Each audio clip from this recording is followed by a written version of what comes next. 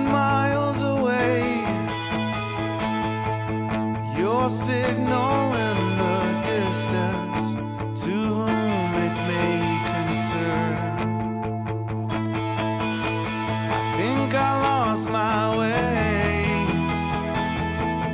Getting good at starting over every time.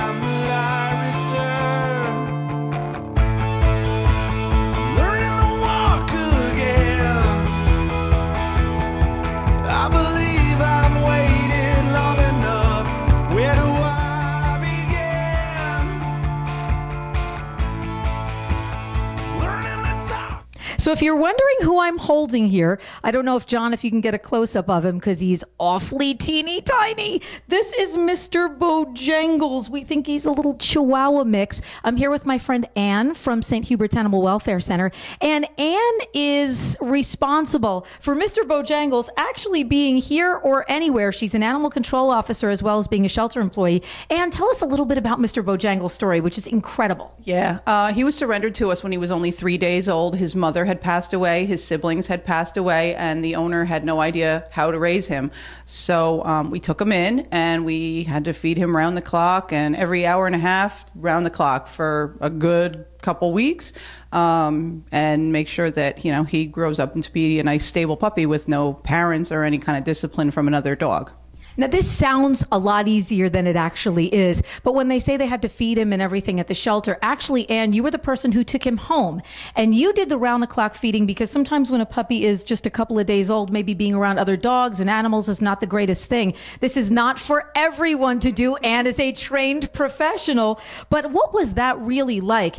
Uh, literally being a mama dog for this little dog. it was exhausting. Um, but you know, it's the nature of the beast in this career path. So you try not to tell anybody you can't help them. The worst thing you can tell someone when they need your help is, "I can't help you," um, especially because what would have happened to him. So. Um, you know, I mean, we I took some breaks. Some people took him overnight for babysitting. I got a little sleep. Um, he's adorable, so it wasn't that difficult to do.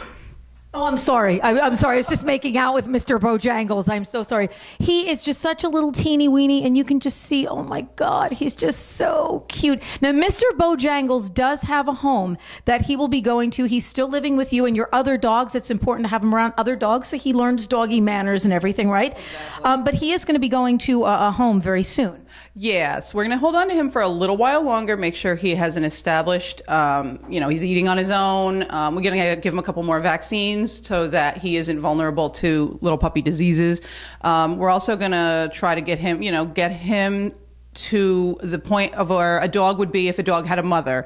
Um, there's discipline involved. There's, um, you know, a little bit of the mother doesn't always feed them as soon as they're starving and hungry. I mean, they they get a little hungry, and then mom feeds you when you when she gets around to it. Um, they're not always cuddled and comfortable and warm. Sometimes they're a little bit uncomfortable, and those are the things that are going to teach him to accept frustration when he becomes an older dog, so that he's not, uh, you know. Yeah, so he, so he's not like an a hole, basically.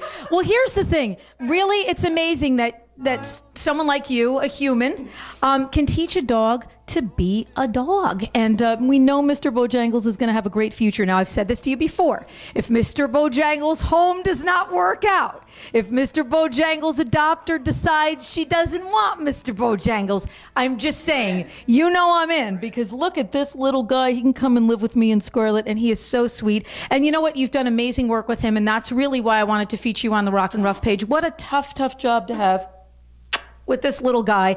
And um, we know he's going to have a great future. So thank you. Thanks, Terry. Oh, look,